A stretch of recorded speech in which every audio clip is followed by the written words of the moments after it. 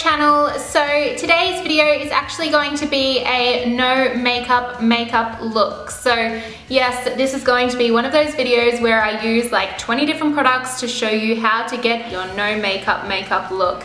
Um, basically, I just haven't really done anything like this on my channel before. I find that I get a bit carried away doing all these extravagant looks with false lashes and stuff like that. So I thought I'd tone it down a little bit and show you guys a no makeup makeup look. So this is basically just going to be me putting on makeup as naturally as possible and enhancing my natural features. So I'm going to try and just brighten certain areas on my face to make myself look a bit more awake and lively. So yeah, I thought I would do that for you guys today. So if you would like to see how to achieve that, then just keep watching. Okay, so I'm going to start off by priming my face using this Body Shop All-in-One Insta Blur Primer.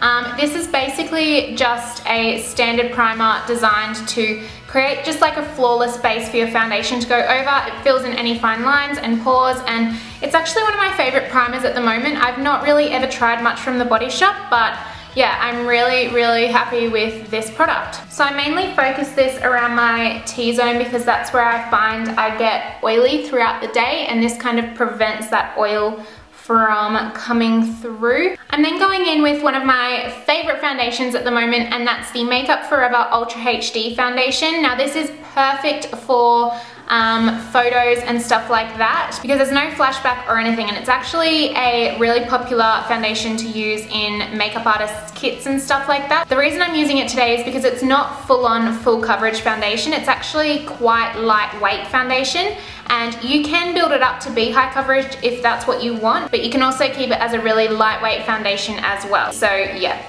that's why I am choosing this one. I use the shade Y255 when I am pale. I've still got a little bit of tan on at the moment, so hopefully this isn't too light for me, but if it is, I'll just bronze up and kind of even it out, hopefully.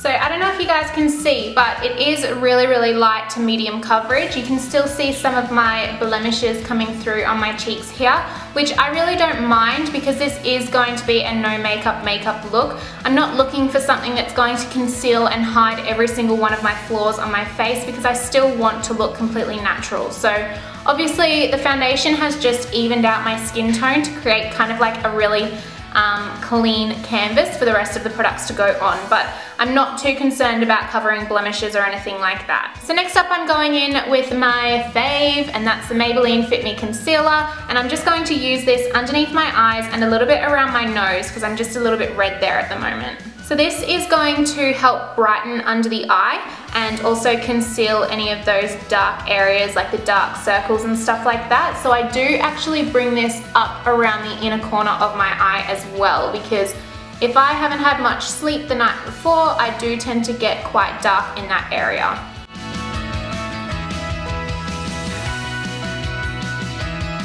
I am bringing that concealer over my eyelids as well, just to conceal any veins or redness that I've got over there. So I'm now going to set my face in place using the Rimmel London Stay Matte Translucent Powder. I'm using this for my entire face to set it.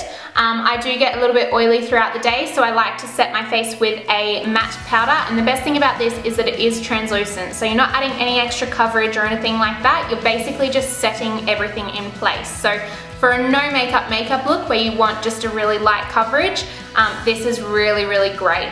This is honestly one of my favorite powders and it's drugstore. It's like $10 or something like that and as you guys can see, like I've used a lot of it and this is the second one that I've been through in the past maybe six months. I use it on the daily. It's amazing. So if you guys haven't tried it yet, you definitely should.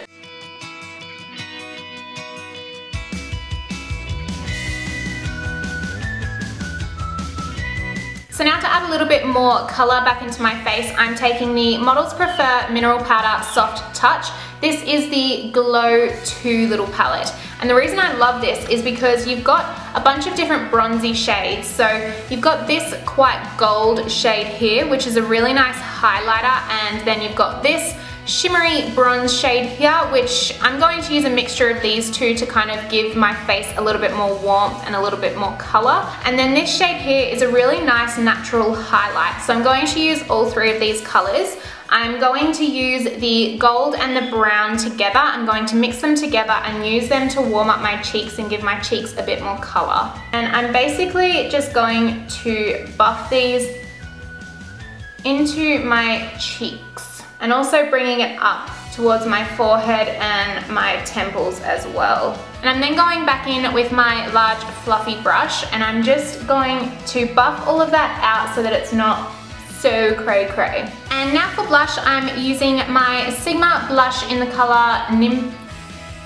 yeah, my god, I don't know how to explain that. That is the color there.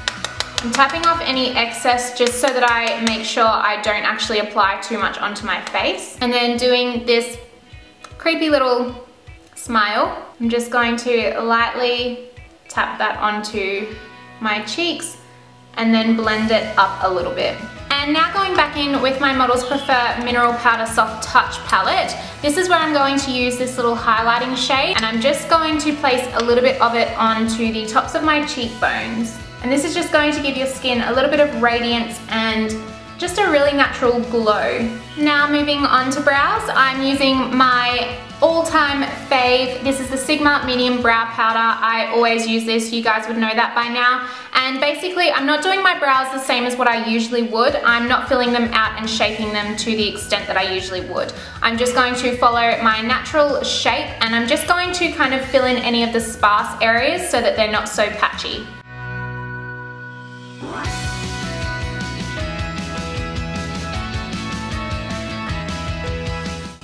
Is eyes. So I'm actually not doing much with my eyes other than just making them appear a lot more brighter and wide awake. So I'm just going to take this color here from the Morphe 350 palette. It's a really, really neutral, like creamy shade. I'm putting it all over my eyelid, but also bringing it into my inner corner as well. And then last but not least, I'm taking some mascara. I love using the Pony Cosmetics White Night Mascara. I just stick to using the lengthening wand. And the reason I really love this is because it's got a couple of growth hormones in it. So as you're wearing it on your lashes, it's actually encouraging your lashes to grow and become a lot more healthy and full. So yeah, it's a bit of a two-in-one. I actually really like the formula of the mascara, but obviously it's an advantage that it's growing your lashes as you're wearing it as well. So yeah, and I always curl my lashes before I apply the mascara. My lashes are naturally quite straight, so I find that by curling them first, it just opens up my eyes a little bit more. And I do pop this mascara on my top and bottom lashes as well. And there you can see the difference that the mascara actually makes. So this eye, I believe, looks a lot more open and wider than this eye. So yeah, I basically can't go a day without wearing mascara. Um, I just think it makes such a difference. It makes you look so awake.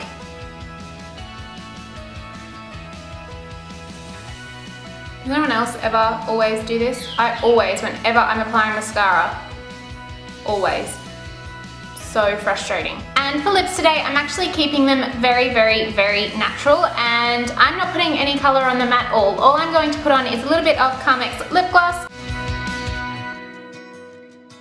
and this is the finished look. I do believe it is a very natural look. It's still very pretty and it just makes you look really, really fresh and awake. Um, it'd be great for those of you who are allowed to wear a little bit of makeup to school because it's not super duper obvious, but it does still freshen up your face a little bit for school. And yeah, maybe something good for the workplace if you don't want to overdo it in the workplace or anything like that. I hope you guys enjoyed it. If you did, please give it a big thumbs up. Don't forget to subscribe to my channel as well if you haven't already. And yeah, I will see you guys in my next video. Bye!